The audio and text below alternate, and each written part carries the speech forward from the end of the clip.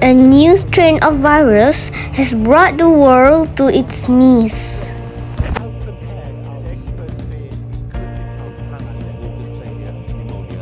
Malaysia has returned to stricter movement control orders to Schools to are closed nationwide ahead of the Eid festival. Many people died because of this deadly virus. Malaysia is currently on lockdown due to this pandemic.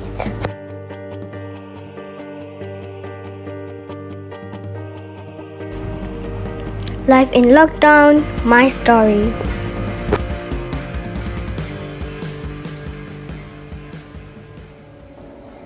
My name is Widad Nur Amani.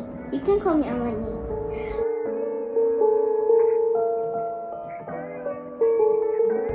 I was born in Slim River, Perak. Slim River is very famous with water rafting.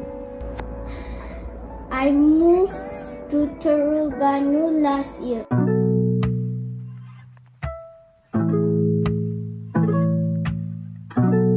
Terengganu is very famous for its beautiful beaches. My dad calls me a unique person. And my mom thinks I am playful. That's kick. Coronavirus, it's a virus that starts in China. Something bad happened that caused it to spread all over the world. Did the coronavirus crisis force you to stay home?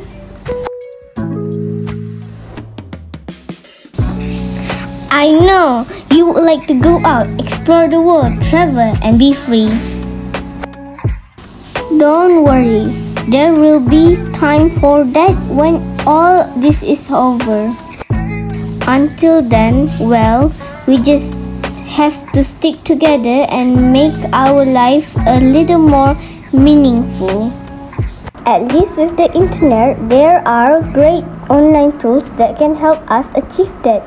I decide to do what I would typically do for my life story. I collect powerful pack of concrete activities to make my days at home fun and meaningful.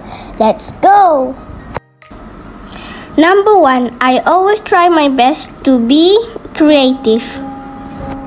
I have started my own YouTube channel and TikTok during this pandemic. If you always wonder what it's like to be a YouTuber, now is a great time to start your own YouTube channel. I recorded my daily routine to get familiar with a camera. I recorded a hobby I'm passionate about, which is playing the keyboard.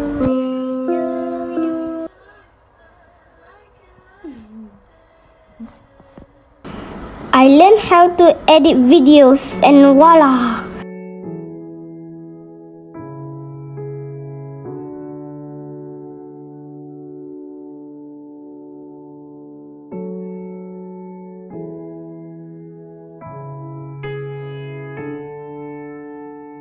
Or you can just start getting creative on something like I TikTok. think I'm losing my mind. Trying to stay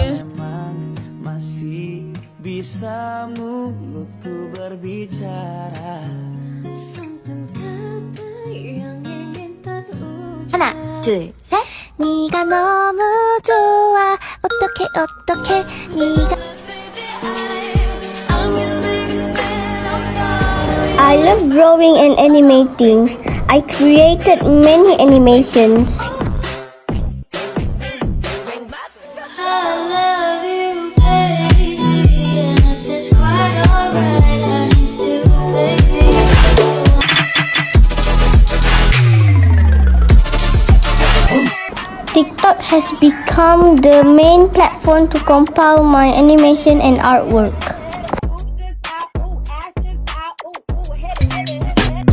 It's like you're running in place. I also craft ideas with recycled materials and many others. I always watch 5 minute craft or DIY and craft because I love doing craft.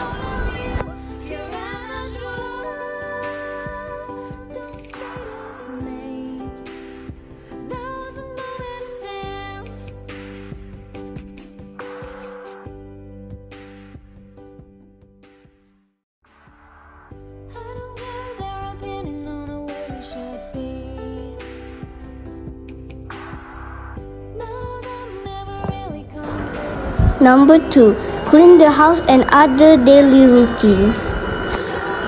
This can help me in many ways. It's free exercise too. You can take the time to reaffirm your faith or cook some delicious meals.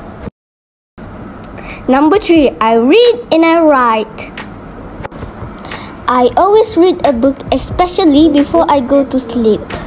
There's a gazillion of great online books and articles I can read. Or maybe I will try to write a short story and I can even take an online class on creative writing. Number 4, I exercise and have fun outside the house. For exercise, I use many apps that can help me with my personal fitness. Or just go to some of the great YouTube channels and do some yoga.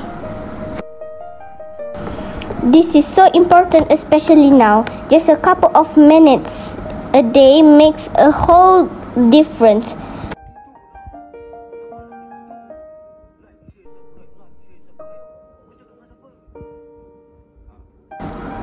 Number 5 Online learning and online games. Besides learning from home, there's plenty of games I can play on my phone. By the way, I try playing them with my friends online in real time. It can be an excellent way to connect without physical contact. I guess that's all from me. Hope you enjoy my story.